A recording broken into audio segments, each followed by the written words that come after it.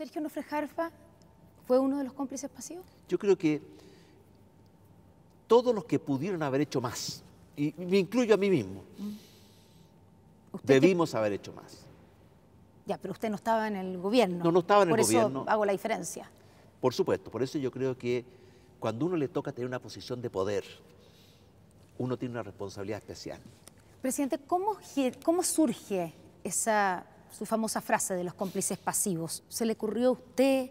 ¿Por qué encontró que cuando se conmemoraban 40 años del golpe militar había que hablar de los cómplices pasivos? Porque quise hablar en forma honesta y con la verdad.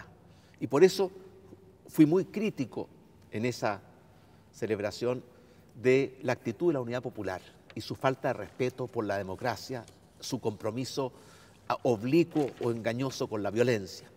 Pero también, pero también fue muy crítico de lo que pasó después del 11. Por eso yo le digo, Constanza, que hay que ser capaz de reconocer los errores, porque si no uno los vuelve a repetir. Y hubo errores antes del 11, cuyo principal responsable fue la Unidad Popular.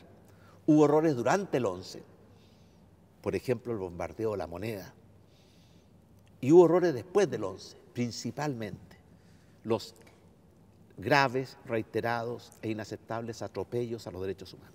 Y por eso todos los que fueron parte de ese proceso tienen que reconocer sus responsabilidades porque esa es la única forma de aprender y de corregir. ¿Usted cree que se cumplió efectivamente, si hizo un mea culpa? Definitivamente ¿Por parte de esos cómplices pasivos? ¿O todavía es necesario volver, volver, digamos, de alguna manera a, sacarlos al pizarrón? No, yo creo que hubo una reacción no debido a esa frase, debido a la fuerza de los hechos. Por ejemplo, el Poder Judicial hoy día tiene mucho más compromiso con la defensa de los derechos esenciales de las personas, empezando por el derecho a la vida y a la integridad.